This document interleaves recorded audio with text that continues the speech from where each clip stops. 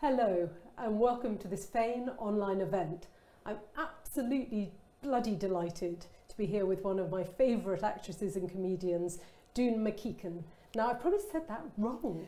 Almost right, you just said McKeegan and I would say McKeegan with a softer. Right, so a bit more of a Scottish inflection. A bit like Loch. Rather than my bloody Kentish Yeah, posh. rather Yuck. than your Kent K. Well, it's the thing, isn't it? I mean, you grew up in sort of Surrey partly and also Berkshire. It's quite hard to Yes. take oneself out of that slightly sort of southern girl thing. Yes, especially when I then was landed at a school in Scotland and had to adopt a Scottish accent to sort of save my bacon. But yeah, Well, we'll move on to that, but we're going Mm. to go from um, discussing your book, My Lady Parts, which I have to say is the best title of the year, if not the decade. thank you. And did you um, have to sort of jettison any that were filthier along the line? Any titles that were more inappropriate? I had a few silly titles that involved my name, like Doon My Head In or Armageddon or Prima Duna, but um, quite rightly, my agent and uh, the lovely Joe Unwin and Canongate were like, mm, let's find something that's broader. So I put it out to my book group. And uh, so it wasn't me that came up with that. Brilliant. It just came through in a text, and I was like, yes, that's it. Fantastic. That's it. Yeah. And you've arranged it. I wonder at what point this sort of became the idea as a series of sort of casting calls for various female roles. Yeah. And uh, I noticed quite a lot of them are things like hag, crow, sort of prostitute. Yeah. There's, there's quite a lot more whore there than Madonna. Yeah, yeah. Does that sort of reflect your experience of your career and being an actress? Well, there are the nice mum and the sort of, you know, there are some some more benign characters, but not as many. I've t- I've tended to choose the more feisty, yeah, the desperate prostitute, the cougar, the yeah, the hag, the nag, the bossy bitch, you know, all those kind of stereotypes. And you say early on in the introduction what is not going to be in the book. Yeah. And I thought that was really clever because you're Mm. wrong footing your readership from the start. But this is not a typical showbiz memoir. I also didn't want people to be really disappointed. Well, by the time they read the intro, they've bought it, haven't they? So tough shit. But I never wanted to write an autobiography or a memoir. I started writing my story during lockdown because I found a whole load of diaries as a, as a sort of exercise to keep myself sane whilst I was looking after my young daughter. Um, and uh, yeah, and then it's sort of. So I've never wanted to tell the the, the sort of sitting on the sofa with Graham Norton, my, my Judi Dench anecdote, or my. I've never really wanted to do the celebrity um, autobiography. So this is not really what people are going to expect, perhaps. No, but you do really get into the nitty gritty and the bones of being a woman, particularly uh, in the comedy sort of genre, which has uh, traditionally been dominated by men. I mean, there's, there's quite a lot of um, rage at misogyny in this memoir.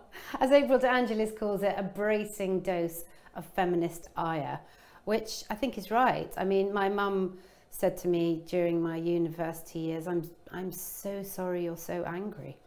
I mean, and you think, well, it's funny that some people are angry and some people are angry and then they stop being angry. Yeah. And then as soon as you get a mortgage, you apparently are meant to move towards the right a bit more.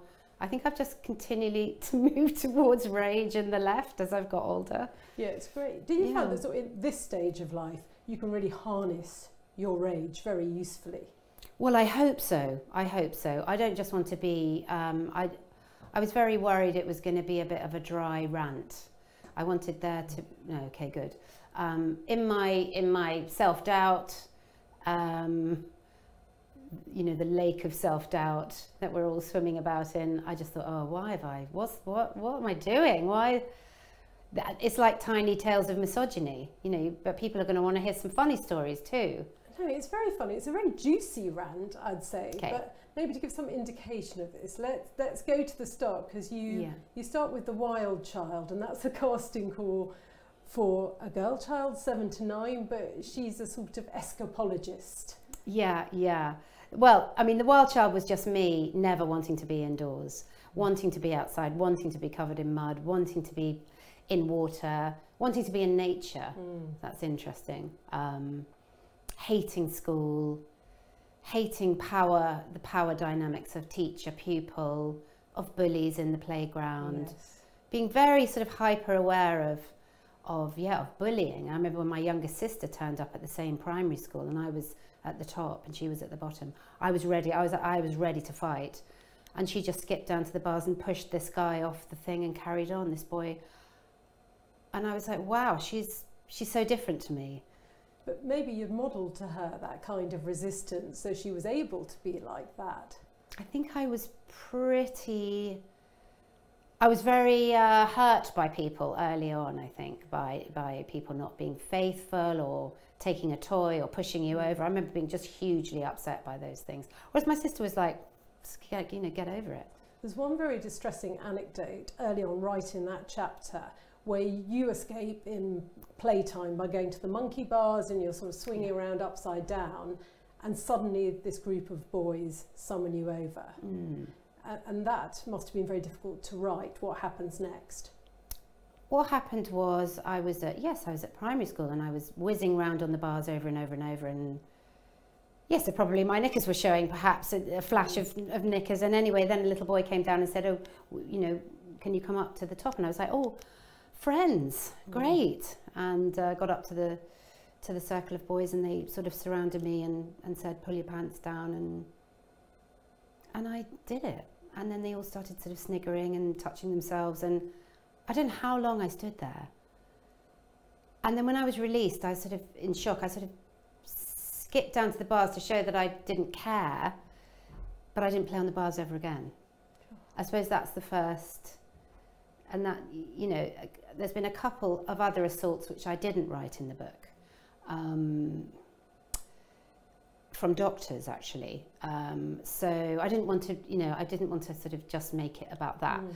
but that definitely triggered off an early thing of a distrust of and, and I think those young boys had they been exposed to pornography like our young boys have in playgrounds now? Probably not. I mean maybe their dads had Playboy like our dad did or but I just think wow isn't that incredible that in a culture they're so young and yet that seemed to be something they felt they could do as a group I, I did relate to that story and I went to a you know local primary school and I remember there was quite a lot of you know sort of aggressive kiss chase with extra elements thrown in you know yeah you know you didn't know that that kiss wouldn't involve tongues or someone wouldn't try and Yeah. your knickers and and I think you're right Mm. it was a much more sexualized culture I'm not sure why Well, it was the 70s, late 60s, wasn't it? Mm.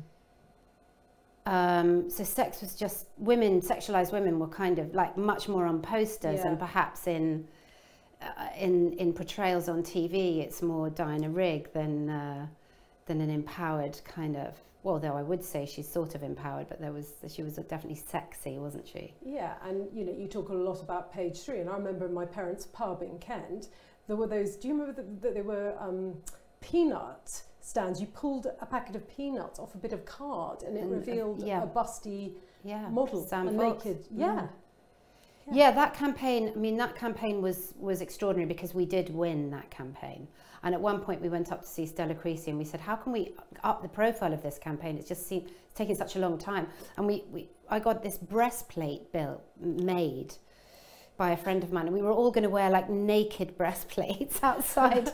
and, and then it, that sort of thought, oh, well, that's dangerous because then people are going to seeing women with enormous tits. I said, yes, that's the point.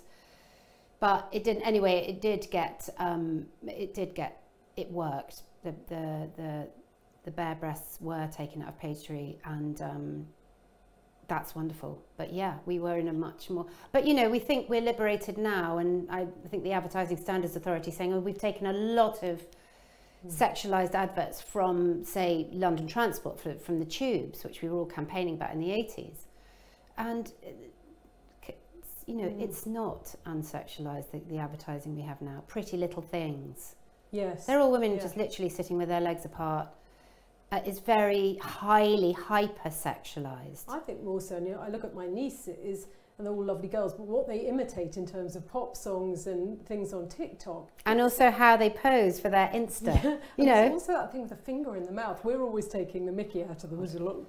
What, what would you think if me and your, you know, your mum, we're just like hands down our pants, or uh, like Yeah, this. yeah. It's, it's quite weird. Yeah, it's it's it's very worrying. It's it's upsetting to look at, isn't it? It is upsetting. So I'm not Mm. laughing about that. I'm just thinking I'm going to take you back, Yeah. go to your childhood. Because Yeah. That's clearly where your love of drama started. And I we don't learn that much about your family. It felt to me like you're protecting Yeah. in a very nice way those who are close to you. But yeah. they, they're clearly quite eccentric. Yeah. I got that sense when you had a parrot and a goat growing up Yeah. and lots of children staying with you. Yeah, yeah.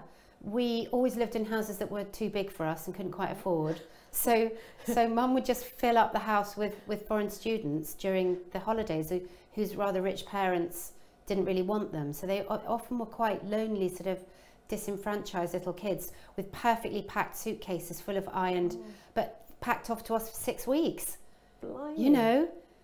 Um, so it was kind of amazing to have this sort of gang of kids, which then that that became our holidays. Was was yeah, putting on, making up shows and dressing up and and roving about rather wildly, which was wonderful. And you were in charge of them and kind of Bossy, probably yeah. sort of, yeah.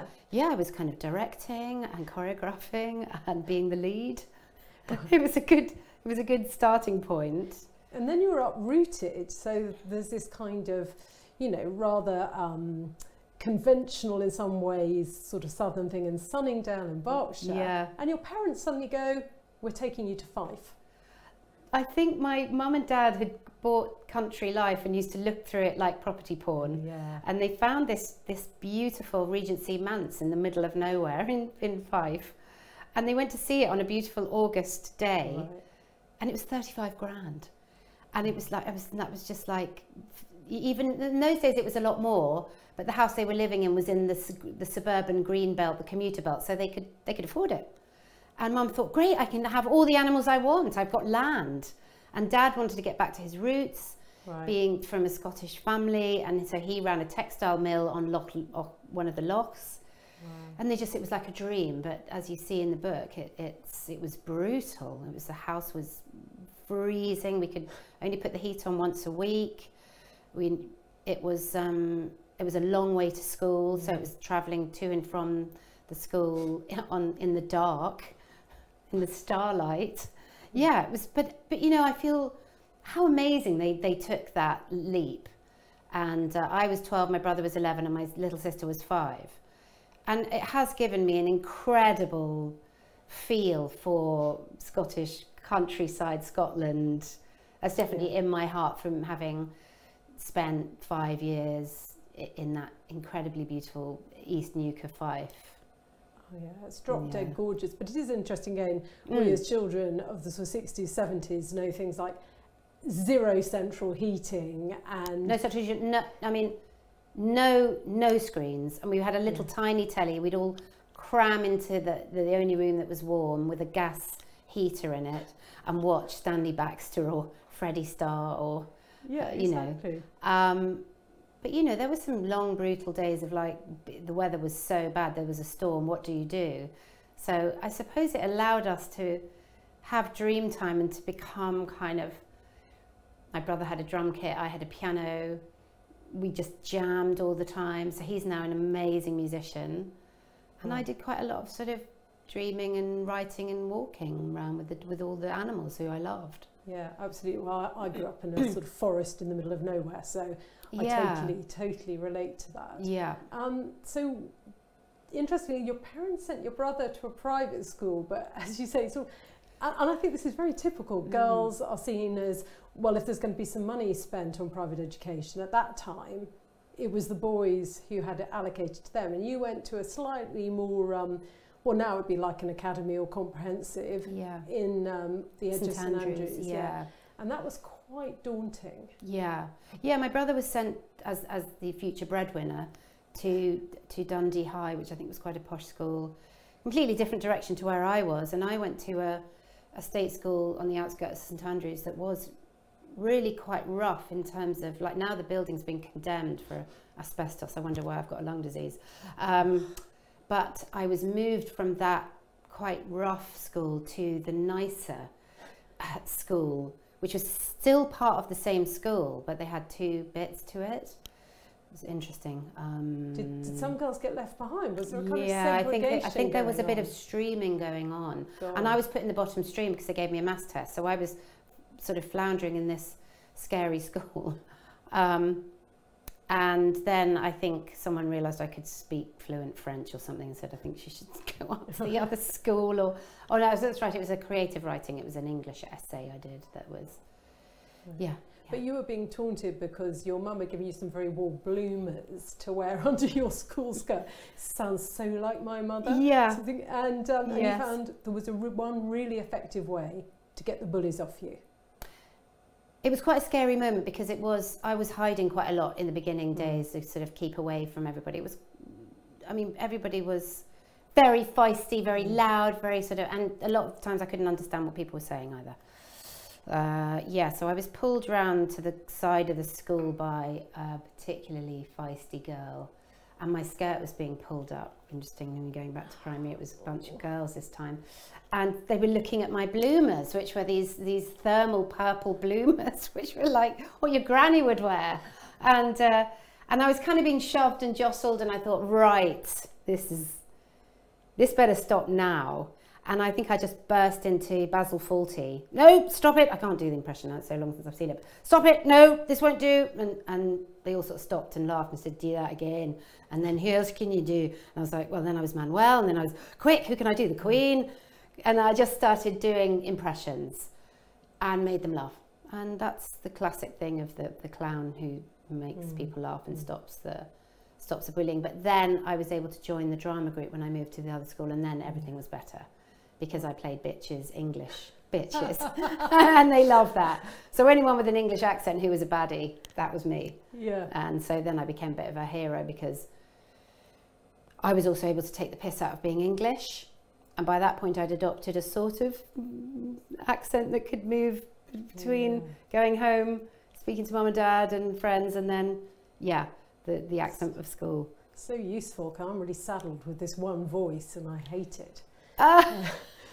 yeah, yeah. So then, then you nip down uh, back to Surrey for your sixth form, and um, Mm. really re-engage with acting as well. So you're sort of beloved of the English department and all of that. But you said that you were um, sort of skiving off a bit. That you were, you didn't flaky. I think is the word Yeah. you use. I fell in love at 17 with a young uh, guitarist, and I just thought work. I just thought, oh, I just used to blag it. I used to do impressions of the teachers. I just made everybody laugh. I was glad to be back Mm. in England, back in my home turf. I was really into sort of music. I was running away to see Led Zeppelin concerts in stolen Ford Capris. It was just quite wild. Um, and I remember them saying, uh, uh, you, you should really do AS level English. You know, you should Mm. you are you've got a gift and and I and, and gave me the wife of Bath gave me Chaucer and I remember thinking oh fuck this, what the fuck is this I want to go and I want to go to Blackbushe and watch Bob Dylan and Tom Petty you know I just did, wasn't wasn't really engaged and so did quite badly in my A levels not badly but I didn't get the results that I needed to get into Manchester Uni, which is where I Mm. decided I wanted to go. Mm. So I did turn up there and demand to be interviewed again and got in, thank goodness. That was a great lesson right there. It's really amazing, and I try and tell young people that if you really want something, Yeah. go and tell the person in charge how passionate you are Yes. about that thing. That's what we all want to hear. I know, I suppose because we're on email and, uh, you, you know, you can't turn up for anything without a pre something. But in those days, you there was a there was a landline and letters. Mm. And I thought, no, no, no, I'm going up there. And I just got on the train. My mum gave me the train fare.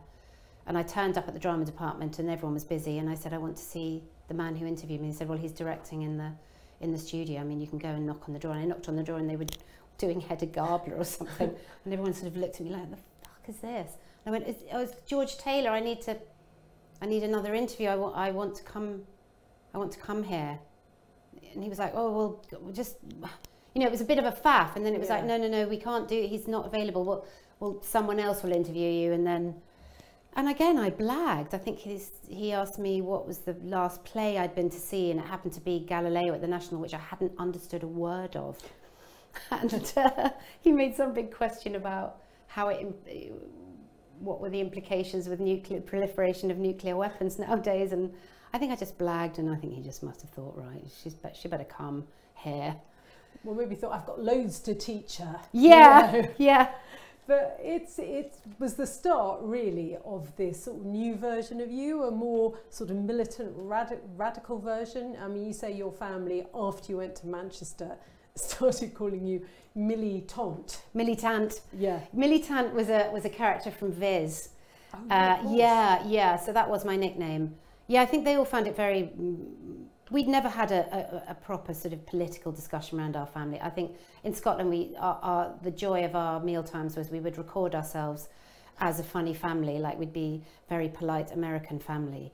If you could just pass the butter, please, dear. And then we'd listen back and think it was the most hilarious thing. But we didn't really engage politically with what was going on or have mm. intellect. It wasn't really wasn't like an intellectual, it was a much more sort of earthy. The parrot was taking the piss out of my dad's voice. It was just a bit sort of. It was different. So I get Mm. to Manchester, and I didn't. I felt very overwhelmed in tutorials. The way people were talking, the language they were using. I still have a feeling that I can't engage in discussions because I haven't got the right language. Um, I still don't quite know what Mm. intersectionality means, although I kind of do, but I don't know how to use it. Oh, that kind of thing. So at Manchester, everyone was having very interesting discussions, but our professors and uh, female and male were very engaged. And show, and we were going to see amazing plays, and we had a kind of great feminist studies film group, and it was in the 80s when there were lots of reclaim the night Mm, marches, mm. and Greenham was happening. So it was Yeah. very, it's a very exciting time, and I was just kind of like lifted my head above the parapet and saw this this world that I knew nothing about. So I was sort of very quickly politicised by Manchester, and I'm hugely grateful I went there and not anywhere else. It made me very nostalgic for the 80s actually, and I remember Mm.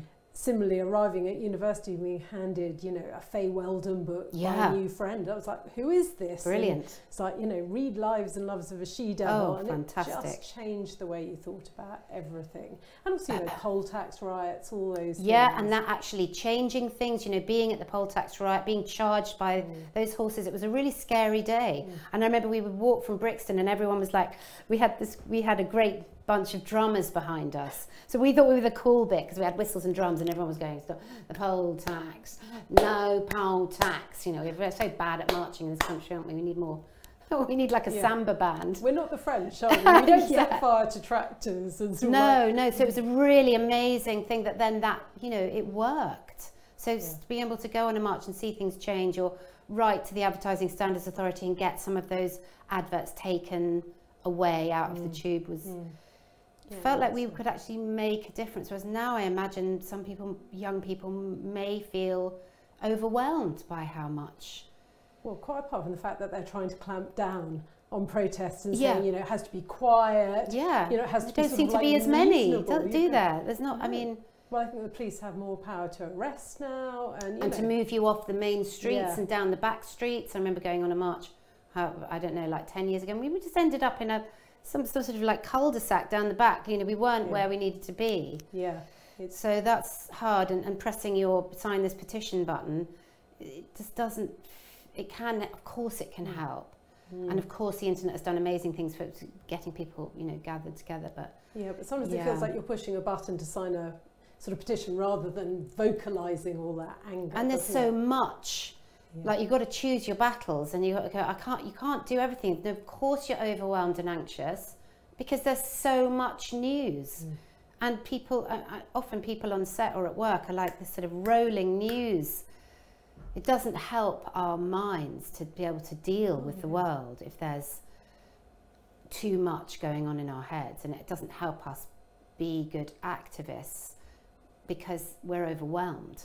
Yeah, I think that's exactly right. Mm. But before we uh, start solving the problems of the world, which I think we will eventually, just going to say that if we take you back to Manchester, that's where you did your first stand up, isn't it? I mean, Yeah. you signed up for an event. Yeah, yeah, I did my first ever sort of stand up on the um, in the the basement of the Union building um, at an all women cabaret. Um, because I'd gone to the, I was quite lonely at uni. I was a bit like at the beginning, I thought, what am I doing here? Just, I didn't, it's quite scary when it was just a bicycle and you and getting to know people. Yeah. Um, yeah, there was a board, a woman's board, and it said cabaret wanted, and there was not a single name on it. It just looked like a bit of a sad board. And the men's boards were all rugby, debate, rowing, running, you know.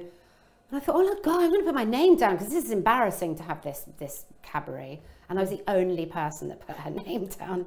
So I just wrote some monologues and performed them with the circle of women with the light still flashing on and off at the disco.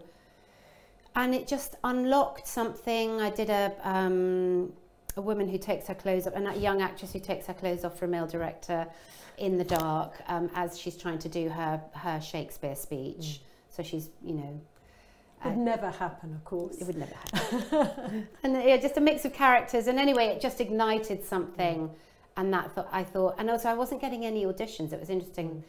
In the uni, there would be like, oh, Lope de Vega play, um, directed by, you know, this up and coming, you know, young man who was everyone thought was great. And I'd audition and I wouldn't get, I wasn't getting in any of the plays. And I was thinking, what am I, well, I'm obviously not an actor, am I? I'm just, right. so I think I found my little niche and then I, turned that into a, a, a, sort of cabaret monologues. And then when I left uni, I started doing it on the circuit in the 80s down in, in London. And started earning money from it. But even hmm. then, mm. you say in the book that you got told by sort of men on the circuit, oh, you're not really a comedian, you're more of a character actress. Yeah, yeah, yeah. Oh, yeah, I was totally like, you're not really. You're not, you're not really a, a, a, com- a comic, are you? Because you're, you're sort of an actress doing characters, because characters weren't really you know, if I had been Steve Coogan doing Alan Partridge on, yeah. you know, that maybe they wouldn't have said the same thing. But because I was doing characters, and women were the women, the only women around were like Jo Brand, Jenny Eclair, and sort of one other or something. It was very mm. scarce, um, and they were more talking about themselves. They were they were talking in their own voices. Right. So I was seen as an imposter. It was just a way of knocking the wind out of my sails early, perhaps. I felt reading it, there were a lot of moments in your book that reminded me of sort of similar experiences I had to walking into rooms full of men when you feel I'm not really properly here, I'm just a sort of handmaiden to these people. Yeah. And uh, I think perhaps the one that's most striking is um, you go into a room and you've been called in by um, Armando Iannucci and it's, uh, you know, it's sort of Punt and Dennis and it's mm. David Baddiel um, Rob Newman, and you say they, there you are to rehearse. They don't even sort of look up or say hello. I mean, that must have been a pretty horrible experience. That I mentioned that in the book because it was it was my first ever radio show, and Armando had seen me do some stand up, and I was incredibly excited mm. to be to be on. You know, it was my first sort of this next step up from stand up and, uh, and I arrived at the Paris Studios which used to be off Regent Street. Right. It's a big big sort of or beautiful old auditorium. Right. Sad it's not there. And yeah, they were all just lying on the stage, you know, in, in uh, you know, day But, and I'd had my script so I'd seen some of the parts and it was a rehearsal and no one really got up or said hi and I think I was really shocked And then when we got into the rehearsals, again, it's all in the book, but I had to do a Sue Pollard impression. I didn't know Sue Pollard, I didn't really watch telly. And, um, and they said, well, she's kind of, you know, northern. And so I did a kind of northern, I don't know, I just did a, a northern accent. And, and Dave Badiel's just said, that's, that's the worst Sue Pollard impression I've ever heard. And I just thought, oh my God, what am I doing here? And I just I went off to Green Park and I just had a cry and I just thought, right, come on, you're just going to have to get through this evening and then you don't have to do radio anymore. Mm. You don't have to.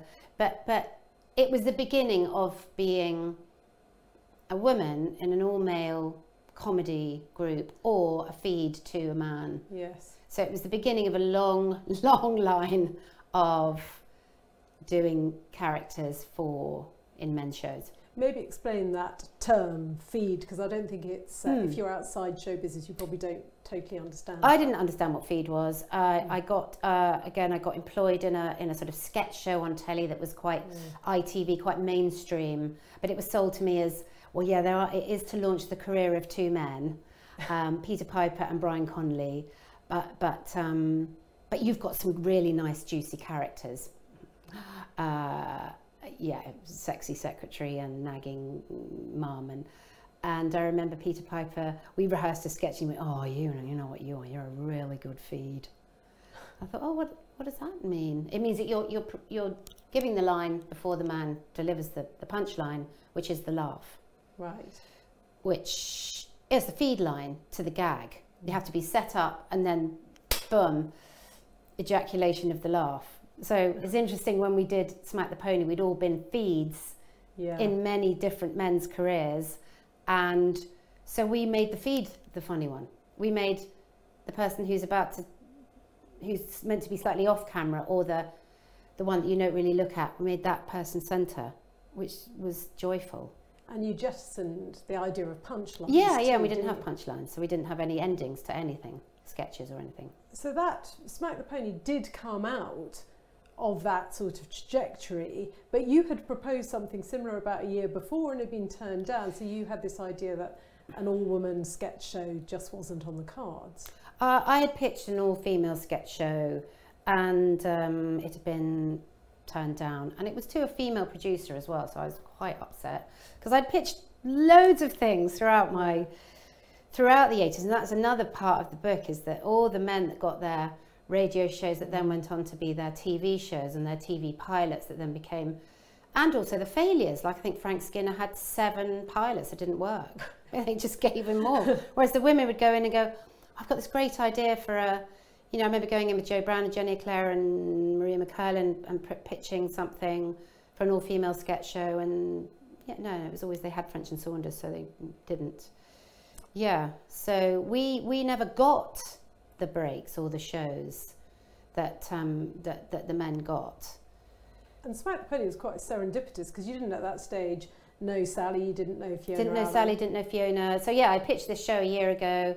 Then then Armando just said, said oh, we were at an awards, and he said, oh, you, do you want to watch this this pilot? I think it's really good. One of the actresses has dropped out. Do you want to? I was like, oh, it's a female sketch show. That's annoying because you Yeah. know I. And uh, yeah, and I watched I watched it, and um, I thought it was brilliant. And so luckily, I said yes. I'm going to have to say that, that for me, that was the first time I had ever seen the sort of humour that I share with my women friends, the Mm. sort of silliness, the sort of surreal, daft things that we might say or do together. I had Mm. never seen that portrayed anywhere. No. So thank you.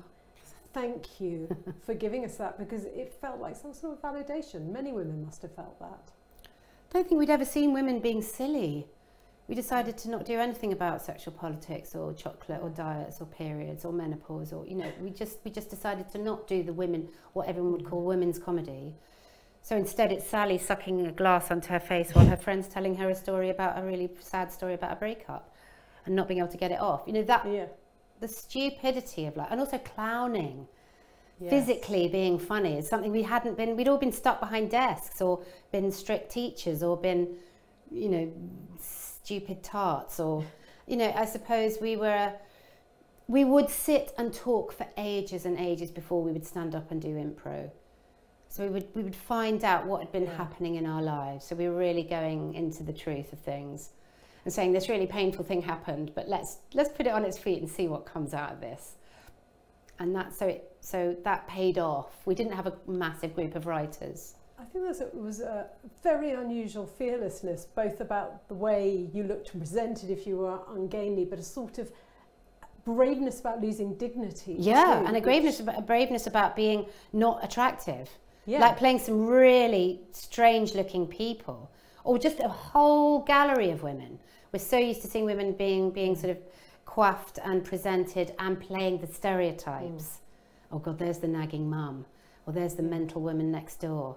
Oh christ here comes the ball breaker you know. But the, we were just we were just normal women in all their daftness stupidity and humanness that were allowed to take the floor.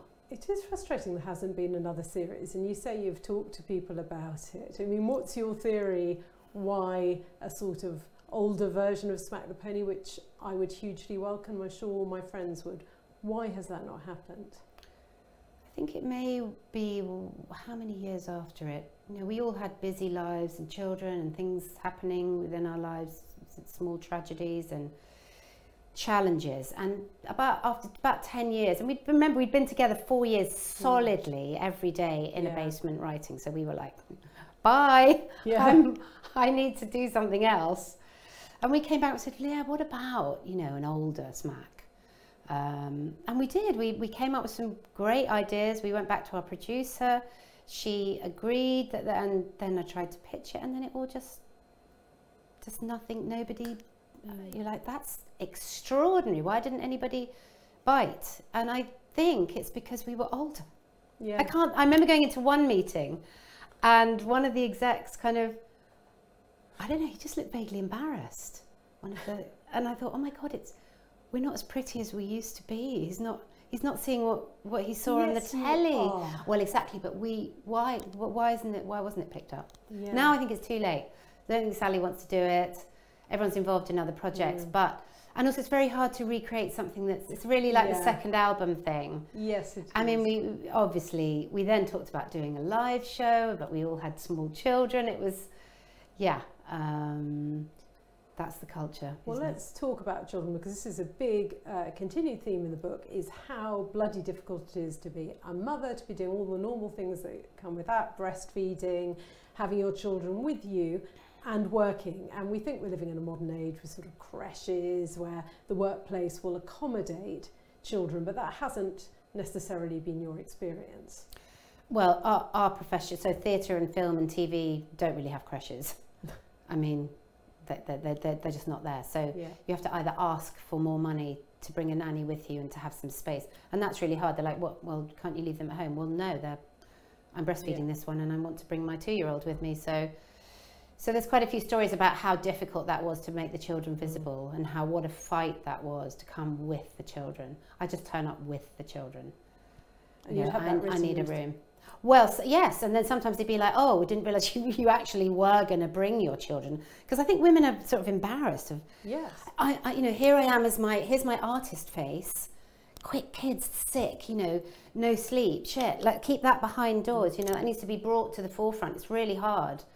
You know, both, but, you know, if you're in a couple, both, both need the maternity leave, Yeah. the paternity leave, the support.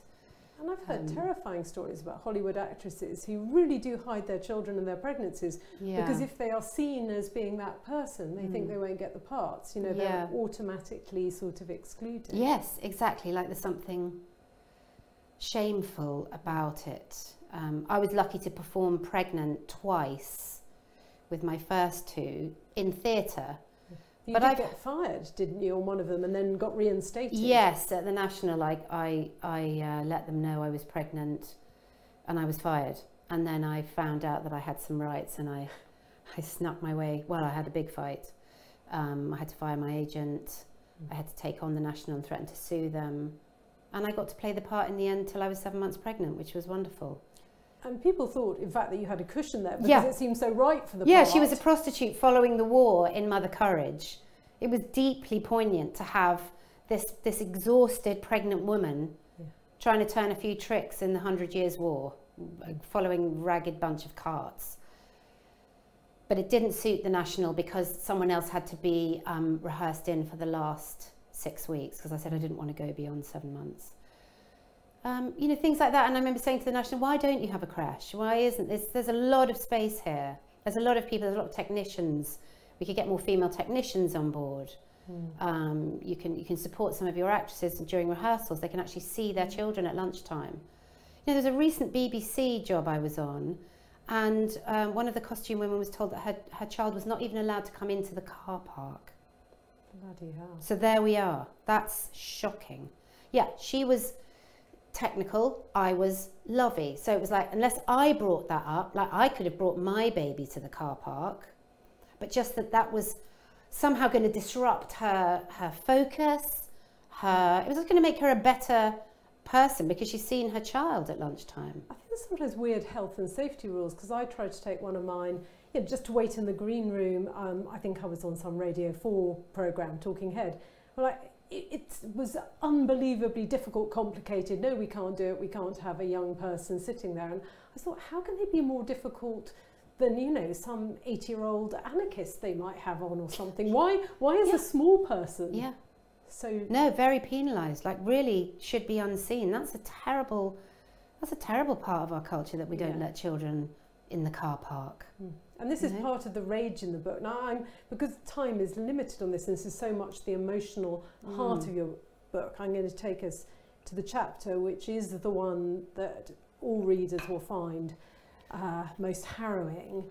And you know, your life is moving forward. You're a huge success. I mean, I should have said this at the beginning, but you know, your your career, how you've won awards as a stand-up, as an actress. You know, you, you've won it them across the board and everything seems to be going really well and you've got three delightful children and then one christmas things suddenly take a really dark turn Yes, um, my beautiful nine-year-old boy uh, was looking very sort of pale, and we were like, "Oh well, his his toes swelled up, and he's a footballer." And we were like, "Oh, he's Mm. just been kicking the ball too much," and um, took him back and forth from the doctors, and they took him into hospital for a few checks. And it was Christmas Eve, and finally they let us home, go go um, back home on Christmas Day.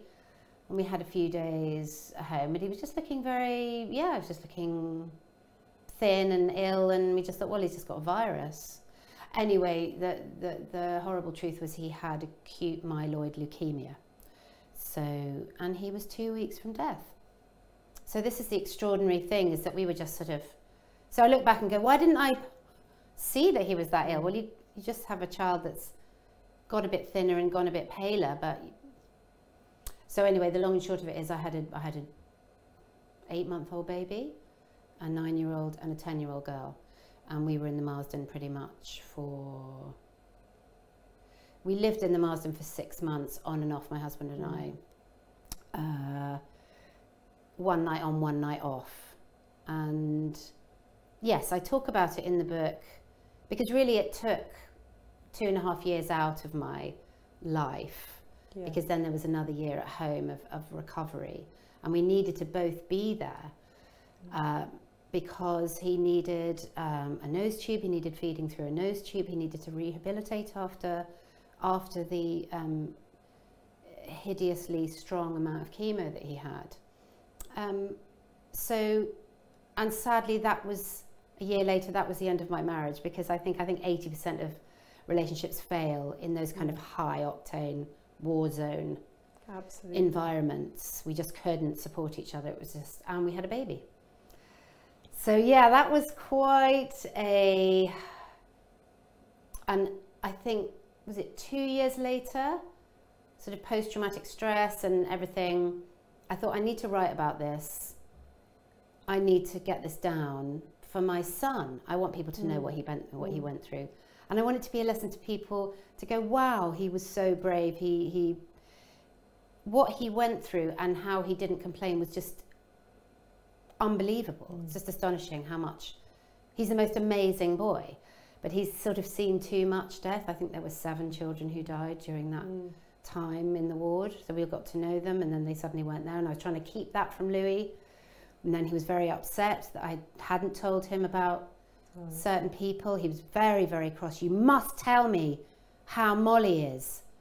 I go, Molly's all right. Molly's fine, you know. And I, so that was extremely hard. So yes, that that sort of, and then I, the next job, and obviously we had no money, Mm. but friends were incredible, and friends helped me find funds. You know, there was a Ralph Richardson fund, there was a theatrical fund, there was help us pay our mortgage. We got a we got a lot of.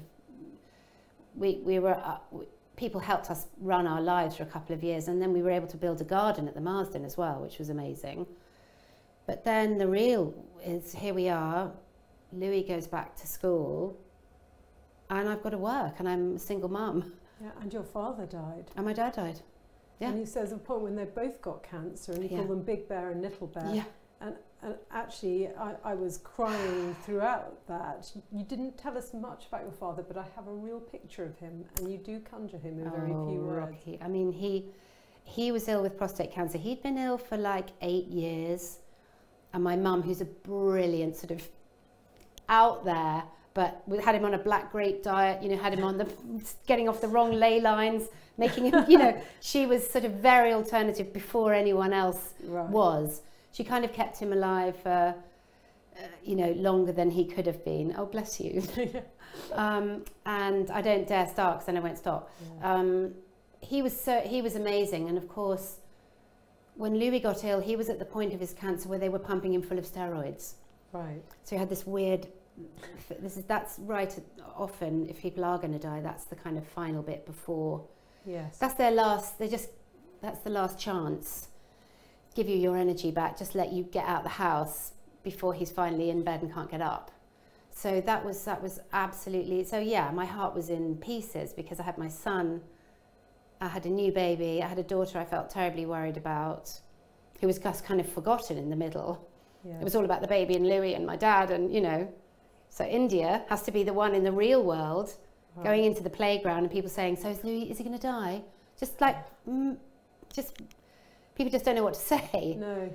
Uh, so yeah, my dad died um, just before we split up, actually. So yeah, it was a huge clusterfuck of hell, I suppose. You talk in the book, book about having post-traumatic stress disorder, but not realizing. and I just wanted to talk a bit about the play mm. Jumpy because I saw you in it, Right. and I remember I just didn't know obviously any of this, and it was yeah. quite soon afterwards, and I remember being absolutely transfixed by your performance. Thank by you. the sort of frenzied energy of it. There was something, I, and I could not take my eyes off you. And I, I walked away from that play thinking, well, and I think I reviewed it for the radio, and, you, and for me, this was the standout performance, like this vortex. And within the book, this all makes sense because Yeah. you're not only fizzing with all of this, but you didn't know you had pneumonia. You were, you got so low. I mean, your life was Mm. the the post Louis period of your life, and you have to move house, um, and then you've got teenagers. I mean, Yeah. talk a bit about that because you know I've had traumatic time with Yeah. teenagers. um, Oh, I mean, I didn't realise. Yeah, I don't think I paid attention to myself because I, there was no time. Did have a small child, little, tiny, you know, baby that was then became a one-year-old, then a two-year-old.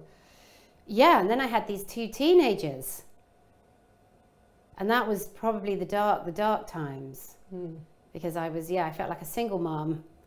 There was a fair amount of toxicity with us trying to break up and money and how to Mm. make it all work and rent, both doomed to rental, having to sell our houses, are both in rentals. And the kids just being teenagers, just off, just me going, where are you? And there's, you know, three, four o'clock in the morning, awake all night, them coming in, waking up my youngest one, mm. shouting, out of control, out of control being on the Xbox, picking up the. Xbox, smashing it on the on the doorstep, losing, uh, you know, shouting, them taking me into the garden when I had sort of bronchitis, and saying, "Mum, we think you need to be on medication," Hmm. and me kind of trying not to cry, but that being a real low point. Like, actually, maybe I do need to be on medication. Maybe I need to.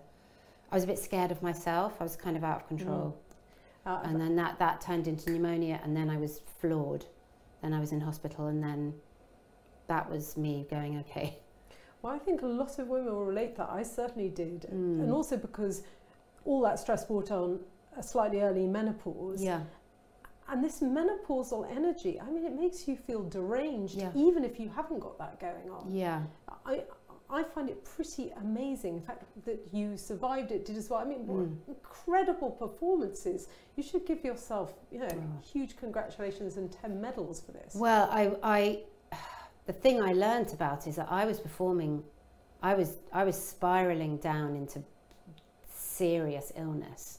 And I was just taking antibiotics to keep going because I didn't want to let the theatre down because my agent was bringing Stephen Frears the next week you know some bollocks. I mean who cares? Just just cut, pull out.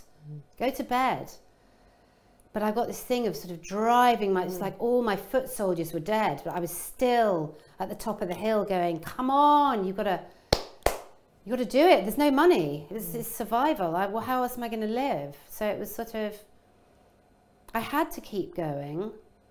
I couldn't just go, oh, I've, I can't pay the rent this month. So But you did drive yourself into hospital. I drove myself into hospital. Yeah, I, I, I have a thing where I just I have a lot of energy. So when it runs out, there's a, still a bit more energy in the mm. bottom. And then I'm on that energy, and then it's like grinding the gears. There's nothing left but keep going. But now I don't do that. So yeah, I have learnt my lesson. I mean, it's important to say to readers lots of lots and lots of lovely cheery bits. Yeah, there are funny bits. I know, but um, actually, you know that energy. It's also um, absolutely manifest in the chapter that you call Selkie, which is about swimming the channel. I mean, mm. honestly, that is another lunatic lunatic thing to do, isn't it? Yeah. To get into the English Channel. Yeah yeah. and swim it. I mean, how mad are you? Just, just, just talk me through that well, process. it wasn't solo. It wasn't a solo swim. It was in a relay. And when I say that, people go, "Oh, oh, relay," and you go, "Yeah, it's still quite, quite a big thing." That again came about through complete.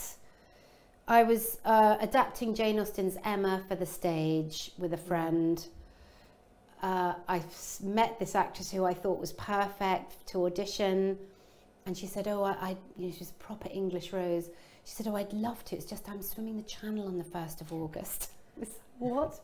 And I'd been reading a book about a woman who wanted to swim the channel. It was an amazing biography, and it was just a synchronistic moment where I thought, oh, I can raise some money somehow. Maybe I'll cross with them on the boat and I'll, I'll just raise some money so I can pay my actors because it was going to Edinburgh, my play. And, um, and then, of course, I start, I turn up at Tooting Lido one April morning and get in the water and, and just sort of do, start doing a bit of training with them. I'm not a big competitive swimmer. I'm not as, I wasn't a fit, super fit person at all.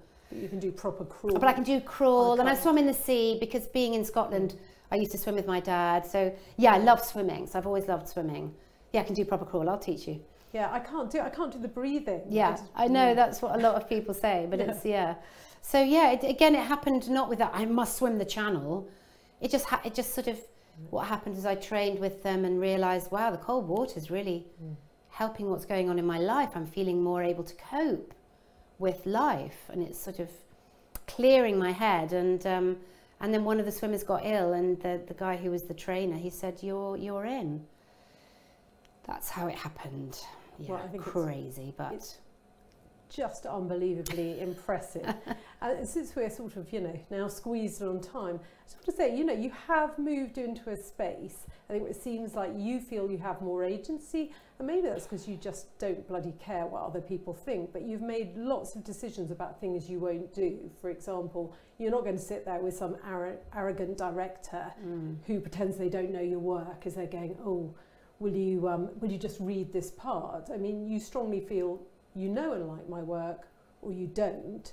So don't sort of play power games with me. Yeah, I, that was a particular audition that I had for a comedy show that um, I just thought I can't. I, am not going to do this anymore. I'm not going to be filmed. I'm not going to be talked down to. I'm just going. I'm just going to leave, mm. and I'm not going to audition for comedy anymore because I have a track record. And if mm. you want me, I'll come and meet you. But that's not the same for for sort of drama or film like I've just been sent something where you've got to self-tape and I hate doing that so I've said no. But then you you you you risk not working. So a lot of people have to self-tape but it's harder. You have to you have to set a room up like this. You've got to film yourself. You've got to learn the lines. It's a huge it's a huge operation and I'm I think I would rather focus on on either someone meeting me and going I love your work. I want you to mm. do this. But that doesn't always happen. I have auditioned for things and um, but just not comedy I was just thinking that um, one of the things I really loved in that book too is where you talk, I mean, you're not at all judgmental about other people getting their tweakments and having things done, no. but you have absolutely made the decision that you are going to have the face that you were born with and very beautiful it is too and yeah I find it such a relief because mm. I feel all the time in the media that when I see other people I sort of think but you look sort of yeah, sort of ironed out in a way that my face just isn't. And mm. it, it is mm. odd because honestly, I don't find it beautiful. I do prefer yeah. people's faces to have character. Yes, so do I. So do I. Prefer to see a woman, but we don't see many older faces on screen. Mm. I remember in Scotland, because I film in Glasgow every year, they have a lot more older women on the news and the weather. I'm like, wow, this is brilliant. Why, why haven't we got this? Yeah. Why do we just have the perfect dewy face and the, the nice bouncy hair and the Yeah. the heels and the or- Plump lips. yeah, or the plump lips. So yeah, but that's that's a chapter I'm. my- I remember my um, editor saying, "Oh, you're gonna, you know, people are people are feminists. They're allowed to do what they like to their faces." And I thought, yes, yes, they are, but we must think about the legacy we're leaving to the younger generation. You know, we are the mentors. We are. If we don't touch our faces, my daughters will never have plastic surgery, or they not. But that took a quite a lot of. They wanted to have one of their friends wanted to have lipo, then the other one wanted to have. You know, there's a lot that they can have, and there's a lot that they're doing younger and younger and younger. So I do think we have got responsibility I to be proud of our faces. No, I totally agree. And to be honest about age and all these things, you know, the age you actually are. yeah, say your things. age, and yeah, yeah, As much as you can. In fact, I try and talk about the menopause as much as any conversation I can put it into. yeah, yeah, Especially with men. yeah. God, oh Christ, off again. yeah, I know, but I sort of No, feel no. like it's got to be, it's got to be out there. Mm. So the book takes us right round uh, in the end to you go from a wild child owning a parrot to crow at the end. There's a sort of nice, maybe because because we're nearing the just why was that the sort of leaving point? Wow, that's funny. I'd never thought of like the wild child with a parrot, and then the last. I, I remember talking to a friend, going, "I don't know how to end the book. I don't." Um, that it goes kind of from like the wild child to the hag, so it's all the parts in between. Yeah. So it's like, yeah, L- Lolita, you know, get your tits out to. Could you put your top back on, please? By the time you get to being the hag, no. Actually, we haven't talked about. I think we should really should just quickly talk about something that I felt so passionate about too. Mm-hmm. The fact that there's this weird sort of porn in TV, going to call it violence porn, sort of women being raped and murdered and out on slabs for light entertainment in Mm. normal drama. You've really campaigned against that, haven't you? The idea that that in a casting, that woman, be she a detective, be she a victim, that there's going to be unnecessary nudity and sort of gratuitous inclusion of sort of horrible sexual violence against women. Yeah. Yeah, that's my that's my big bugbear. Um, I wrote an art. I, I was asked for the how by how the light gets in to do a speech about anything that I felt Mm. angry about, and I wrote this speech called "Enough Is Enough" about kind of what I call crime porn, about um, slab women on slabs, about just the, just the casual violence, just women being pulled downstairs by her hair or smacked across the face, or it was about that, and it kind of went viral. And then I made a documentary for for B, for Radio Four called um, Body Count Rising about this issue of what are we watching and how that's informing a violent culture. Mm. And I think women have to think about it too, because Mm. actually often the audience and say the readership of violent crime novels Yeah. involving you know degradation of women are women. We sort of feed off the fear in I, I remember talking to a journalist who said, I, "Oh gosh, I really thought." She said, "I sit and watch these things and I feel profoundly awful at the end of them." She said, "I so, so I stopped watching one and I watched a." I watched a documentary about squirrels instead of watching, you know, her Scandi, you know. Uh, and she said it was quite funny that it happened to be about squirrels. There's not a lot. There's not a lot of other content. I just want us to tell some other stories. Yeah. I want to hear about other stories about women being damaged and hurt and victims or on a slab. I Yeah. mean, you know, hard-bitten detectives are parts I'm always sent. You know, she's she's a hard. She's been round the block a few times. She might have a bit of a drink. She's a tough, tough. You go, well, I don't really want to be in a crime drama. Is there? Why can't I be a pirate or a, you know, or uh someone who's circumnavigated the globe or a mountain climber? It's just we're we're obsessed with Mm. crime. Mm. I love a thriller.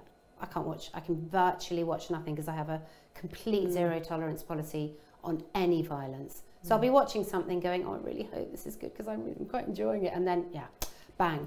I sort of watch things like this. I, I can't. Yeah, but I don't want to watch. I don't want to watch stuff that's going to. I think it just really undermines our confidence as to just we are victims. Mm. What was what was um, so the man who murdered Sarah Everard? Remind me of his awful name. Oh God, was he a Wayne? I can't remember. Wayne Couzens, was it? We'll have to cut this bit out. Do you remember the guy who murdered Sarah Everard? Person hiding behind the desk. She's probably fallen asleep. I think he was maybe. Was it Wayne Couzens? Anyway, So I don't. Yeah, I'm. I'm. Trouble. I'm such a rubbish journalist. I'm so bad with names. doesn't matter. The man who murdered Sarah, Sarah Everard. What was he watching? Yeah. That's interesting. What was he watching? There's a lot of crime porn on TV. Yeah. Um, where men think it's okay to just sort of casually slap someone across the face or push them or I just think we really have to be careful and guard our stories rather more Mm. carefully and just have a bit of a uh, think more carefully about what putting women at the centre that aren't that aren't yeah victims. I just really want to thank you for this wonderful memoir full of passion, but sort of really good rage. To me, it was really useful, productive rage. Made you feel like an Avenger. Ah, Diana Rigg, thank you. Yeah. Oh, thank you so much. That really means a lot. I, I want it to be Yeah. quite kind of a bit of a clarion call. Definitely, it's Mm. galvanizing, it's fantastic, and um, I should really say this is my favourite book of the year, without a doubt. so, um, thank you yeah, so much. so go and buy it. But thank you so much, Doon. Thank you very much. You're the best interviewer ever. Yay! Wow, you've stayed right on time.